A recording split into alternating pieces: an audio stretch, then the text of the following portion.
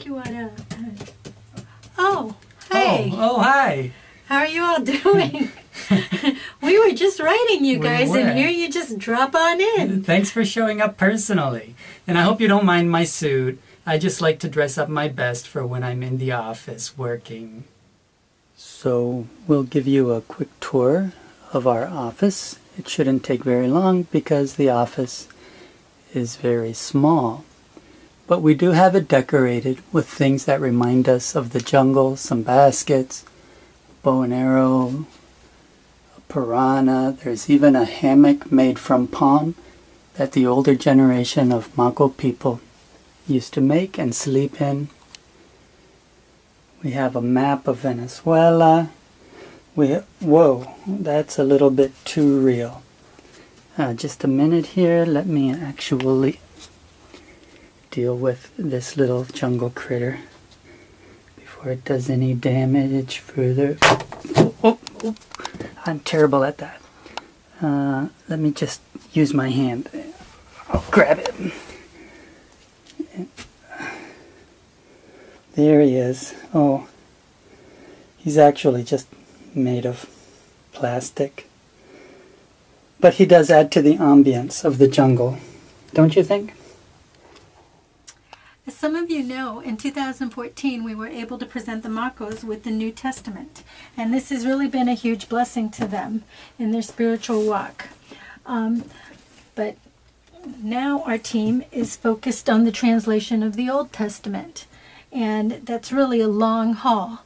But little by little, we're plugging away at it. Our team is plugging away at the translation, and so far we've been able to present them with this, which is the books of Genesis, Exodus, Deuteronomy, Joshua, Judges, 1st and 2nd Samuel, Kings, Job, Psalm 1, Psalm 23, Proverbs, and Daniel.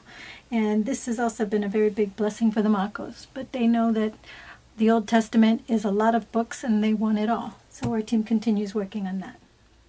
Another thing that we've been doing for the Mako Church and for the Mako people is trying to develop a library of Bible lesson booklets that will serve as a good accompaniment to the translated scriptures. You can see here a set of booklets based on the book of Ephesians that the Makos already have, and we're currently working on a similar set of lessons on based on the book of First Corinthians.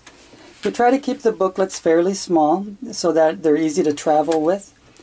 Um, you can see that as a cover we have this hard plastic sheet and that's in order to just protect the book from the harsh jungle environment and make these books be able to last. When you open them up you see that we have pictures, we have a lot of white space on the page. The Makos are fairly new to this whole concept of reading and writing.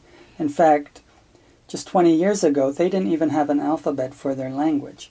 So all of this is fairly new, and we want to keep the process of, of these Bible lessons simple so that the content is easy for them to consume. We keep the font large as well, because a lot of the Mako people have poor eyesight and they don't have access to uh, things like reading glasses the way we do. So this is another element where uh, Marie and I are helping the Mako people just have access to the same things that you and I do as it relates to the Word of God. Not just scripture translated into their language, but Bible lessons that help them think and consider um, how to apply the spiritual truths that they're reading from God's Word. So last time we were with you all, we had our book, Our Witch Doctors Are Too Weak. And something that I'm personally working on now is translating this book. We republished it now as Messenger in a Bottle, but um, I'm working on translating the whole book into Spanish. There's a lot of Spanish speakers here in Miami, as well as in Venezuela and Colombia, where we traveled to go work, as well as in Canada. Uh, last time we were in Toronto, we came across a lot of Spanish speakers. So this book um, really kind of highlights the whole tribal ministry and how that all works and how that all functions. And so we've had a lot of requests from people asking us to please provide this book in Spanish. So that's what I'm currently working on now, is the translation of the book. So, Marie and I hope this gives you an idea of what our ministry is looking like during this time of pandemic. In fact, this is what our ministry looks like uh, all the time, pretty much, even when there is no pandemic, except possibly for this suit. Um, just a few months ago, in uh, February of this year, we were able to make a trip to Colombia, and uh, and our ministry is between Colombia and here in Miami because in Colombia we're able to actually personally engage with the Mako people. There's a little jungle outpost there near the border of Venezuela, and the Makos are able to arrive there by boat in their dugout canoes. And Marie and I fly in there by airplane, and we're able to spend a week or two weeks together with them.